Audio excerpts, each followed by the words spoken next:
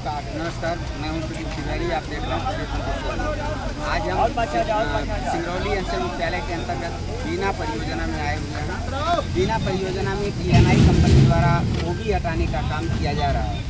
आज ये सामने देखिए जितने वर्कर दिख रहे हैं ये टी कंपनी में काम करने वाले वर्कर हैं। आज तीन दिन से लगातार हड़ताल पर हैं।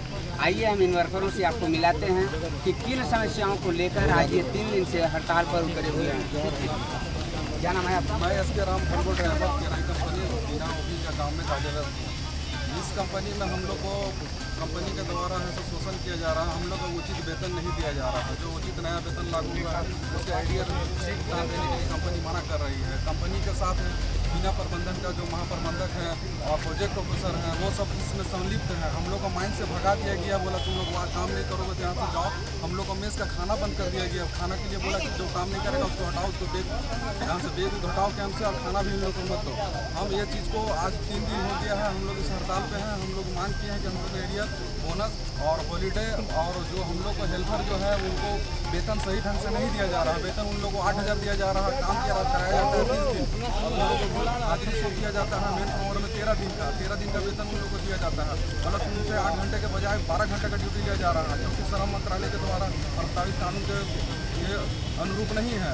और इसके लिए हम लोग प्रशासन से अनुमति लिए। प्रशासन को हम लोग इसका सूचना दिए। प्रशासन ने बोला, ठीक है, आप से शांतिपूर्वक हड़ताल कीजिए। हम आपको सहयोग करेंगे।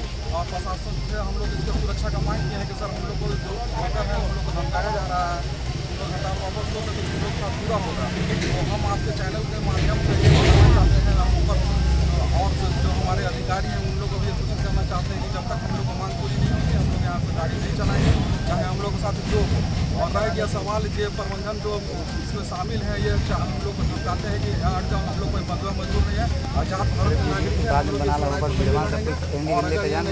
प्रबंधन तो प्रबंधन के खिलाफ हम लोग भ्रष्टाचार का जो जो सतर्कता आयोग है विजिलेंस डिपार्टमेंट है उसको हम लोग लेटर देंगे। विजिलेंस डिपार्टमेंट से बात हो चुकी है। विजिलेंस डिपार्टमेंट ने हमें बोले हैं सात दिन के अंदर अगर तुम लोग का कोई सुनवाई नहीं होता है तुम लोग डायरेक्ट मेरा लेटर लिखो।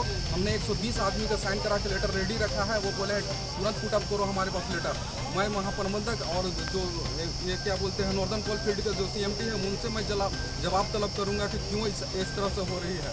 यहाँ इस तरह आज़ाद भारत में हम लोग का शोषण किया जा रहा है जैसे हम लोग गुलाम हैं। हम लोग को बोला जाता है काम करो उसमें तो भगा देंगे। बिना परियोजना का इसमें सबसे ज़्यादा शामिल है यहाँ का अधिकारी लोग हैं कंपनी पूरा और यहाँ का पीओ और महाप्रबंधक ये सब शामिल है। ये हम लोग को गाली देते हैं कि हम लोग सुरक्षापूर्वक काम करने के बाद भी जरा सा कुछ लापरवाही होता है तो हम लोग को गाली देते हैं बोलते हैं साले लोग तुम लोग को लात मार कर भगा देंगे। आपके चैनल के माध्यम से ही चाहते हैं कि हम लोग को अधिकार मिले। हम लोग यहाँ किसी प्रकार का शांतिपूर्वक से हम लोग हड़ताल कर रहे हैं हम लोग किसी प्रकार का यहाँ कोई कंपनी हम लोग को सहयोग नहीं करती।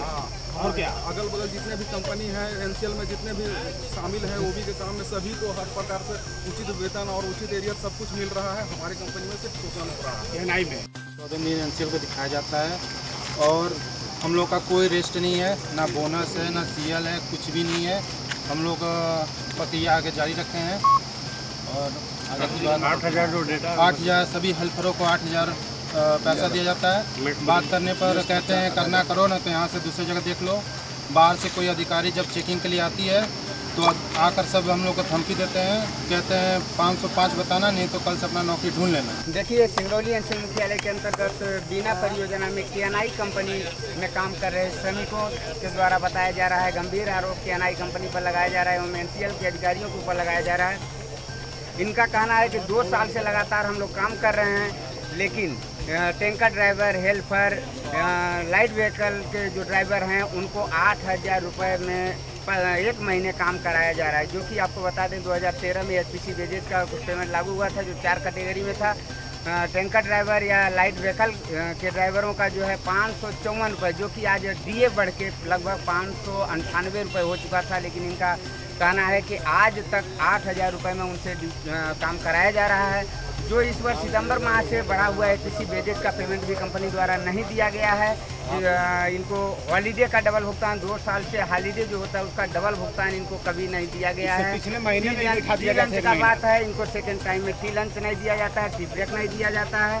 ये कंपनी पर और एनसीएल पर इनका गंभीर आरोप है इनका कहना है अगर हमारी मांग पूरी नहीं होती है तो हम बहुत आगे तक बहुत ऊंचाइयों तक जाएँगे लेकिन अपनी मांग को पूरी करा के ही कंपनी का काम चालू करेंगे। हाँ मैं प्रदीप मैं Pradeep Tiwari cameraman T S के साथ। 直接转进锅里